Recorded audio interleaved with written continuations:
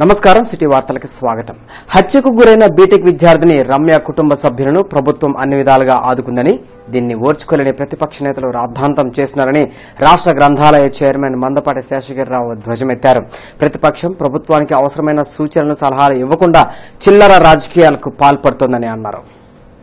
ముఖ్యమంత్రి జగన్ మహిళలకు రక్షణ కల్పించేందుకు దిశ యాప్ను ప్రవేశపెట్టారని రాష్ట్ర గ్రంథాలయ చైర్మన్ మందపాటి శేషగిరిరావు పేర్కొన్నారు. మీడియా ప్రతినిధుల సమావేశంలో మాట్లాడారు. ఎస్సీ ఎస్టీ బీసీ మైనార్టీలను సీఎం జగన్కు దూరం చేయాలని ప్రతిపక్షం కుట్ర పన్నుతోందని ఆయన ఆరోపించారు. మహిళలపై దాడులు జరిగితే వెంటనే ముఖ్యమంత్రి చర్యలు తీసుకున్నారని ఆయన తెలిపారు.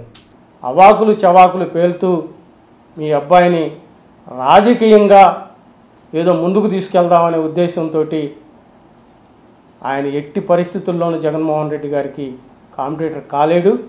ఎన్ని కుటిల యత్నాలు చేసినా ఎన్ని ప్రయత్నాలు చేసినా ఈ రోజున జగన్మోహన్ రెడ్డి గారి వెనకాల దళితులు మైనార్టీలు బీసీలు ఎస్టీలు అందరూ కూడా వెనుదన్నుగా ఉన్నారు.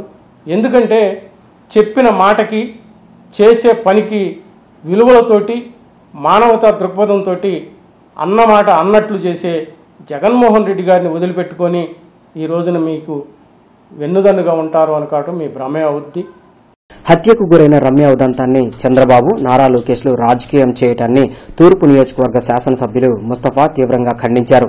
రమ్య కుటుంబాన్ని అన్ని విధాలా రాష్ట్ర ప్రభుత్వం ఆదుకుందని ఆయన వివరించారు. శవాన్ని పెట్టుకొని రాజకీయాలు చేసి మనం లబ్ధి పొందిన ఉద్దేశం మరి ఏ విధంగా ఉందో ప్రజలకు అర్థమవుతా ఉంది.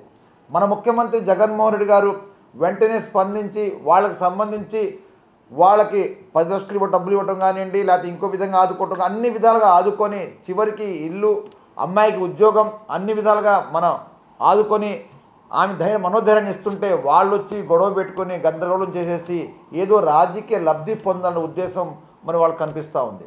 ఈరోజు ఇందాక పేపర్లో చూశాను దిశ చట్టం ఎక్కడ ఉంది అని చెప్పి చెప్తున్నారు.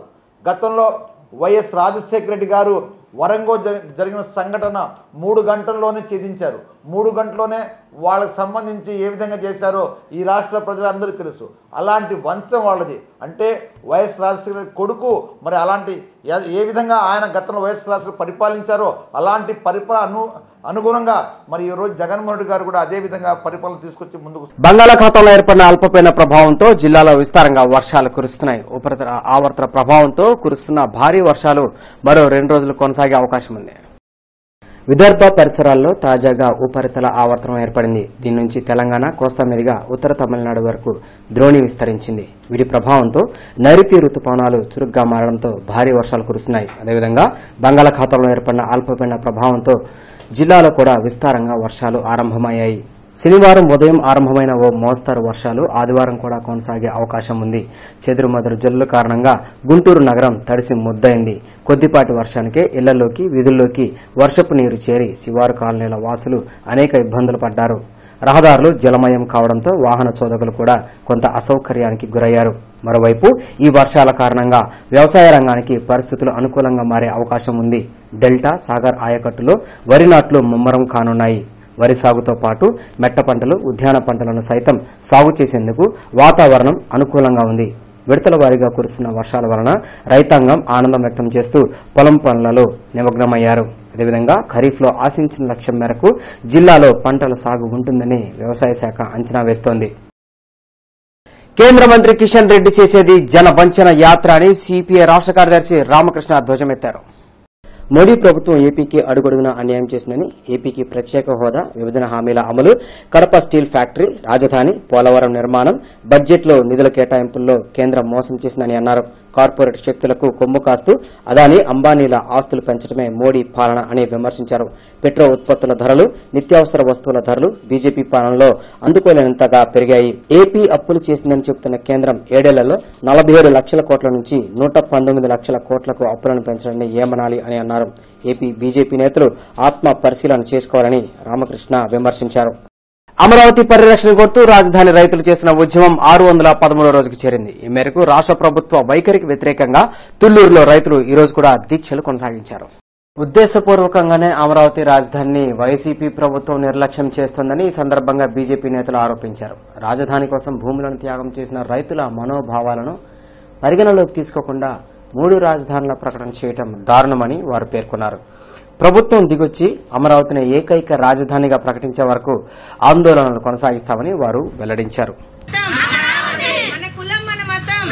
గుర్తించాలి రాజధాని రైతుల రైతు కూలీల త్యాగాలను! గుర్తించాలి రాజధాని రైతుల రైతు కూలీల త్యాగాలను! ఈ మూడు రాజుల ప్రతిపాదన వెనక్కి తీసుకోవాలని కోరుకుంటా ఉన్నాము.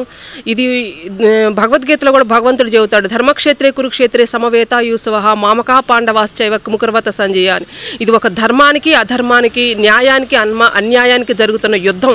ఈ యుద్ధంలో కంప చక్ ఎప్పటికీ న్యాయమే జరుగుతుంది న్యాయమే గెలుస్తుంది ధర్మమే గెలుస్తుంది. మా ఈ పోరాటం ఐదు కోట్ల ప్రజలు కూడా గమనించాలి వాళ్ళు కూడా మాకు సపోర్ట్గా రావాలని కోరుకుంటున్నాము. మేము మా బిడ్డల భవిష్యత్తు కోసం ఆ రోజు ఇవ్వటం జరిగింది. మా బిడ్డలు భవి భవిష్యత్తులానే అన్- ఐదు కోట్ల ప్రజల పిల్లలకు కూడా మా పిల్లలుగా మేము భావించి ఆ రోజు ఈ భూమిని త్యాగము దానమే చేశాము. వాళ్ళు కూడా గ్రహించుకొని మాకు సపోర్ట్గా వస్తారని కోరుకుంటూ సేవ అమరావతి సేవ ఆంధ్రప్రదేశ్ మేము ఐదు కోట్ల ఆంధ్రప్రదేశ్ ప్రజలకి భూములు ఇచ్చి మేము నష్టపోయి కూడా మీకు త్యాగం చేసి కూడా మేము భూములు ఇచ్చి మీకు మీ మేము ఉద్యమం చేస్తుంటే మీరు మాకు సపోర్ట్ చేసి ఈ ఉద్యమాన్ని ఇంకా ముందుకు తీసుకెళ్ళాలని కోరుకుంటున్నామండి. అలాగే మా రైతు కుటుంబాలకు ఇంతవరకు కూడా గవర్నమెంట్ కౌలు వేయలేదు. సగం మందికి ఇచ్చారు సగం మందికి ఇవ్వలేదు. కోర్టుకి ఏమో ఇచ్చామని చెబుతున్నారు. ప్రతి చోట అబద్ధాలు ఆడుతున్నారు ఈ గవర్నమెంట్ వారు. ఒక్కటి కూడా నిజం చెప్పట్లేదు.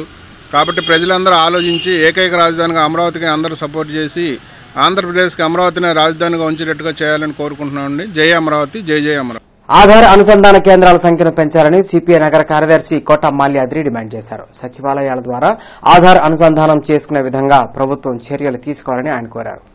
పరిమిత సంఖ్యలో ఆధార్ అనుసంధాన కేంద్రాలను ఏర్పాటు చేయడం వలన ప్రజలు ఇబ్బందులకు గురవుతున్నారని సిపిఐ నగర కార్యదర్శి కోట మాల్యాద్రి అన్నారు. మలయలింగం భవన్లో మీడియా ప్రతినిధి సమావేశంలో మాట్లాడుతూ సచివాలయం ద్వారా ఆధార్ అనుసంధానం చేసుకునే విధానం ఏర్పాటు చేయడం వలన ప్రజలకు సౌకర్యవంతంగా ఉంటుందన్నారు. ఏదైతే ప్రభుత్వం ప్రభుత్వాన్ని నడుపుతున్నటువంటి సచివాలయ వ్యవస్థ ఉంది. సచివాలయ వ్యవస్థలో మరి యాభై మంది యాభై కుటుంబాలకి మరి ఒక పక్క వాలంటీర్లు ఉన్నారు. ఆ వాలంటీర్ వ్యవస్థ ద్వారా రోజుకి మరి ఐదు ఇళ్ళు పది ఇళ్ళు అనుకొని అన్ని ఇళ్ళను కూడా పూర్తి చేయాలి తప్ప అది కాకుండా ఒక పోస్ట్ ఆఫీస్లో పొద్దున్నే ఉదయం ఐదింటి నుంచి ఆరింటి నుంచే క్యూలు పెట్టడం వల్ల మరి ప్రజలకి ప్రజల్లో కరోనా కూడా పెరిగే ప్రమాదం ఉంది. తల్లిదండ్రులు పిల్లల తల్లిదండ్రులు కూడా పిల్లల లైన్లో పెట్టి వాళ్ళంతా కూడా పక్కన కాపలా కాయాల్సిన పరిస్థితి నుంచి ఈ నగర ప్రజలను కాపాడాలని వెంటనే సచివాలయ వ్యవస్థని పనిలోకి తీసుకొని వచ్చి వాస్తవంగా ఈరోజు రేషన్ షాపులు పక్కన ఉన్నా కూడా బండి ద్వారా రేషన్ ఇచ్చి మరి ఆ యాభై ఏళ్ళకు కూడా తిప్పే ఈ పరిస్థితిలో మరి సచివాలయ వ్యవస్థ ద్వారానే ఆధార్ లింకు నెహ్రూ నగర్ రిజర్వాయర్ నుంచి లక్ష్మీపురం రిజర్వాయర్కు త్రాగునీరు సరఫరా చేసే ప్రధాన పైప్ లైన్ లీకేజీలకు మరమ్మతులు చేయాల్సి ఉన్నందున సోమ మంగళవారాల్లో నీటి సరఫరాకు అంతరాయం కలుగుతుందని కమిషనర్ చల్లా అనురాధ తెలిపారు. సోమవారం ఉదయం ఎనిమిది గంటల నుంచి మంగళవారం సాయంత్రం ఆరు గంటల వరకు మరమ్మతులు నిర్వహించనున్నట్లు పేర్కొన్నారు. ఈ మరమ్మతులతో Lakshmipuram Sambalagaruvu Gujjanagulla AT Agraharam market yard housing board colony జిల్లా court compound KVP colony Vikas Nagar Shyamalanagar Hanumayya Nagar Nehru Nagar Rajiv Gandhi Nagar Bongaralabeedu Vasantharayapuram Sharada colony తదితర ప్రాంతాలకు తాగునీటి సరఫరాకు అంతరాయం కలుగుతుందని అన్నారు. ఈ నెల ఇరవై ఐదు నుంచి యథావిధిగా సరఫరా చేస్తామని తెలిపారు. పెదపరిమి రైతులు చేసిన ధర్మ పోరాటం ఆరు వందల పదమూడో రోజుకు చేరింది. రైతులు ప్లకార్డులు చేతపోని ఇదేమి రాజ్యం ఇదేమి రాజ్యం దొంగల రాజ్యం దోపిడీ రాజ్యం రాజు మారినప్పుడల్లా రాజ్యం మారదని నినాదాలు చేశారు. సీఎం జగన్ మూడు రాజధానుల నిర్ణయాన్ని మార్చుకుని అమరావతిని ఏకైక రాజధానిగా ప్రకటించాలని రైతులు డిమాండ్ చేశారు. కాపాడుతున్న న్యాయమూర్తులకు. న్యాయాన్ని కాపాడుతున్న న్యాయమూర్తులకు. న్యాయాన్ని కాపాడుతున్న న్యాయమూర్తులకు. అమరావతి. మాట తప్పాడు. పిడుగురాల సమీపంలో ఐదు రోజుల పసికందును గుర్తు తెలియని వ్యక్తులు వదిలి వెళ్ళారు ఆడపిల్లను స్వాధీనం చేసుకున్న పోలీసులు శిశు సంరక్షణ కేంద్రానికి తరలించారు. ఈ వార్తలంతటితో సమాప్తం. నమస్కారం.